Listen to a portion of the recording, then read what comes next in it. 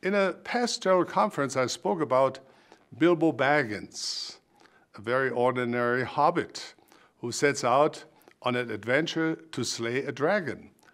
Gandalf was his source of wisdom and help.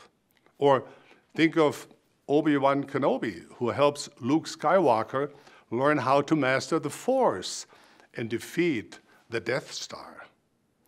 Anne of Green Gables has Marilla and Matthew, who love her and guide her as she goes from being an unwanted orphan to an accomplished student and beloved friend.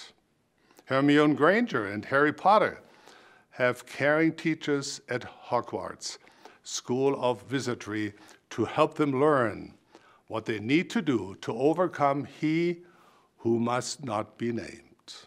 And now I come to you. Whether you feel like a hero or not, you are one. You are the hero of your own life's story. Perhaps you're standing before a fence of your own, like I did at the Frankfurt airport as a teenager, yearning for something you want to become.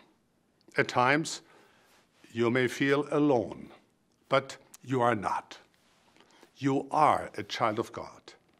He is your Heavenly Father. He loves you, and He is only a prayer away. You have Jesus Christ.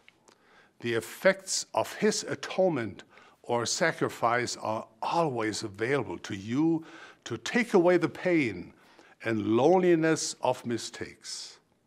You have caring bishops and other church leaders. You have your ward family who will guide and help you.